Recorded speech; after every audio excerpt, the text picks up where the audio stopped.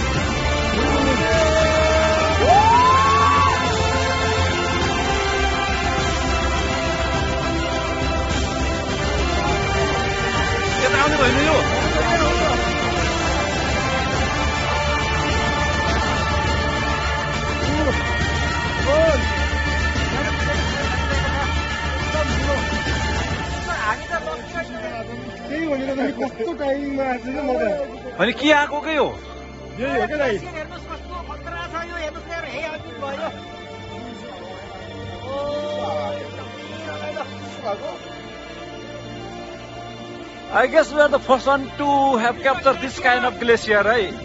Oh!